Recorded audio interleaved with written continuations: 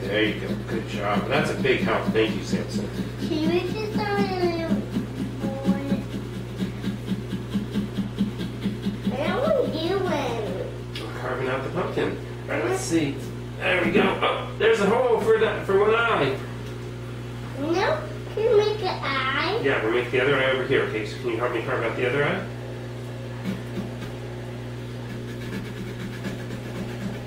Good job helping.